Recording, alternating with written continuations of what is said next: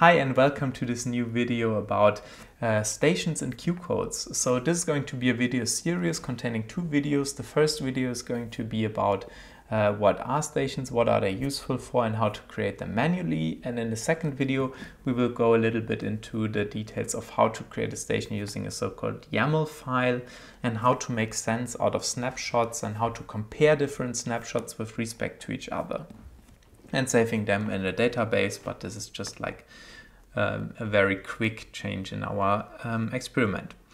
Okay, uh, so first of all, a little bit about the stations themselves. So what are they and what are they useful for? Well, stations are actually components that are contained in QCoDeS and they basically group together different instruments and channels and so on in order to make your measurement itself a little bit more structured. Um, that sounds pretty abstract, so just uh, think of an experiment like a simple hall bar experiment.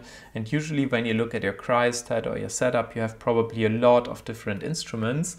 Um, and usually when you import all of these, you also contain all of these in your snapshots. That means that you first of all will record a lot of data which you probably don't need and then also if you perform a snapshot you get a lot of metadata which makes everything just messy because just imagine you had a current source which has like four different uh, outputs mm, then if you perform a snapshot you get the metadata for all the four different outputs and you probably only need one uh, for your experiment so you have a lot of mess going on there uh, and that's where stations come in handy because they basically allow you to pick uh, uh, to pick um, single components also from different instruments and group them together in a station so that you're only that you're only left with the stuff that you need. Um, so how do we actually create them? Uh, first of all, we start as always with an empty Jupyter terminal on Jupyter uh, notebook. Um, and I will first of all start by basically copying everything um, that we are usually also using.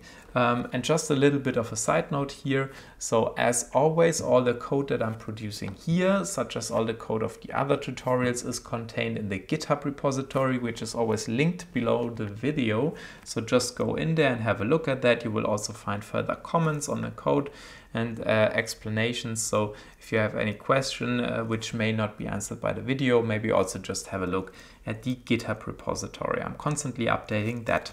Um, as always, we start by importing um, QCoDeS and I'm using autocomplete, which basically means I press the tab, uh, the tab button as QC. Then I'm basically using all the different uh, packages that I'm that we also used in the uh, experiments before. So I have a dummy instrument, a parameter, and the elapsed time parameter.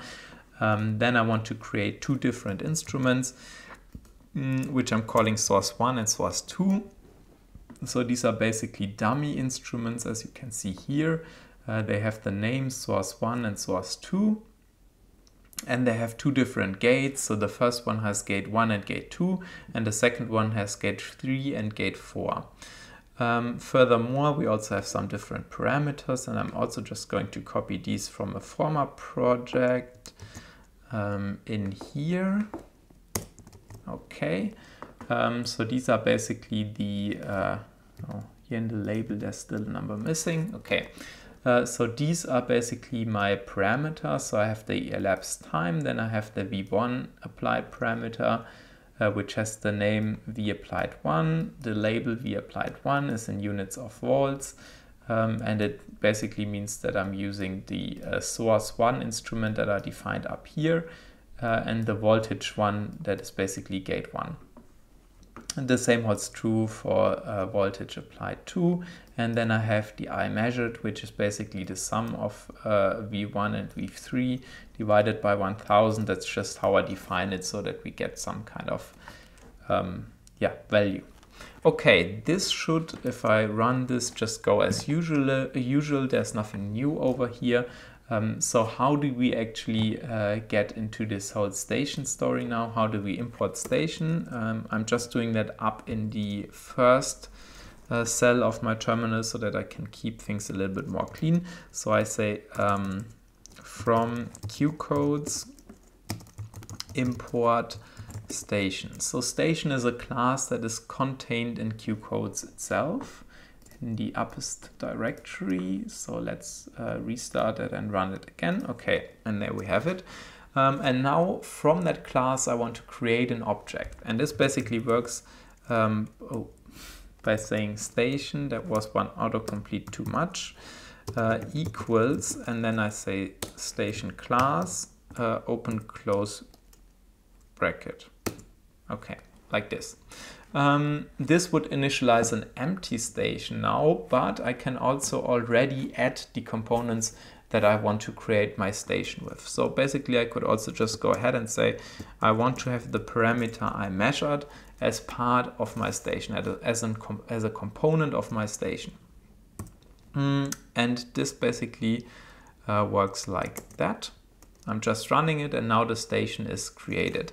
And I can also prove to you that my um, that the parameter I measured is included in that station uh, because the station object has a uh, has this components uh, with it. And if I run that I can just see okay the components that are contained in my station so far are I.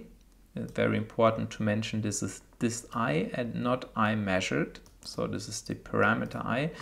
Um, and it also tells me that this is from the class parameter and then I get a pointer over here. Um, now let's say I want to dynamically adjust the, uh, the components that are contained in my station. Like if I wanted to change something during the experiment, if I want to add or remove components, if I run some kind of automation and my station needs to change, then there are also uh, functions which help us to add or delete components. And I will show you how that works right now. So basically you say station dot add component and now I can just add any kind of component. Let's say I wanted to add my source one. Then I just go ahead, I get the feedback over here that source one is added. And if I run the same print command once again, I see, okay, I have the current that I had before, but now I also have source one, which is of the type dummy instrument. So this is the class up here. Um, and yeah, that's source one. Okay, um, now that I have source one in there, uh, let's say maybe I also want to add the uh, elapsed time parameter because uh, up to now I only added a uh, an instrument. Let's say I also want to add a parameter. Well, that works basically the same way. I just say station add component and then I add my time component and basically that works the same. So if I run that uh, print command just once again, you see that now I have time included as well. Of course, I can also delete parameters from the station. That basically works by, by saying station dot remove component. And then I just say which component I want to remove. And let's just say I wanted to remove I measure because this is an interesting example of what doesn't work. Uh, because if I run that I receive an error Mm, and actually, I have to say at that point, um, I've recorded this video several times already today because there was always something wrong with the microphones and the camera. So bear with me that it works this time. And that's also why I know that this is causing an error. Um, but what is the reason for that? Well, actually, uh, even though we import the parameter I measured here, the parameter is handled by its name from that point on. Um, that means if I want to remove that component, I have to use it, I have to call it by its name. And this is not I measured anymore, but it's I. So if I run that, it works fine. And if I now print the components that are contained in my station, you can see now I have the source in here and I have the T parameter in here, but the I parameter is not there anymore. Okay, the nice thing about stations, and this will become more important as we go towards automizing the process of initializing the stations using YAML files, um, the nice thing about them is that we basically control all the different components that are contained in the station by just controlling them. Uh, that's also abstract again, so just give you an example. Mm, if we wanted to know the time, the time parameter before, we would just go ahead and do this, which basically is the same as uh, time.get. So if I wanted to get the time, I could also just say uh, t open close bracket and then I received the time. But that means that I have to control it using the time parameter. So this is um, not containing the station now.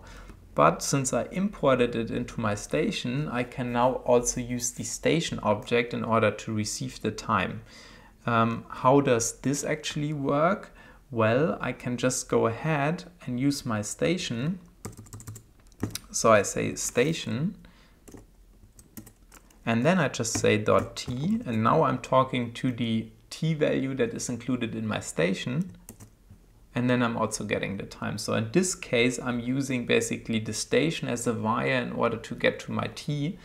Um, and this is of course uh, useful because stations can be created automatically. Um, okay, but that's just like a little bit of a side note.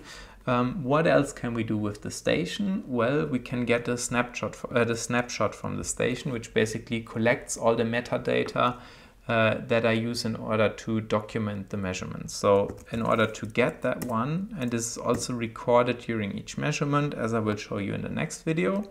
In order to get that one, we say station.snapshot. And if we do that, we basically receive a snapshot which contains all the data from everything that is included inside my station. So you can see here we have the source one, uh, it tells us which class we actually used in order to, uh, so basically which class we used in order to construct this element that basically helps us to know which driver has been used. We get the date, we get uh, the firmware which has been used, and so on, and all the different parameters that have been uh, initialized before. Um, of course, this is not really helpful if you are if you want to run a measurement and you just want to know what happens with my how do my instruments actually look like um, how how did I initialize them this is not really human readable right because it's uh, a little bit messy it contains a lot of information but it's not really uh, easy to read mm, and in order to make that a little bit easier there's a different way of uh, doing so let's for example say I wanted to know which parameters did I set in my source one, in source one.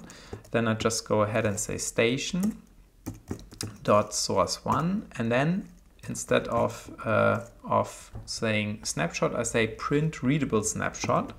And if I run that, I receive this snapshot, which is much easier to read and which only uh, contains the information uh, that I probably want to know when I initialize my experiment. So I can see here um, for example, which firmware has been used, serial connection, then I see which voltages are applied to gate 1 and 2, uh, and that's basically it. Um, and that's also it for this first video of this uh, station tutorial series. As I said, in the next video we will talk about the YAML files and how to automatically create stations, how to uh, use snapshots in order to find errors that may occur during uh, several measurements uh, in a row. Um, and with that, I hope to see you in the next video. Bye bye.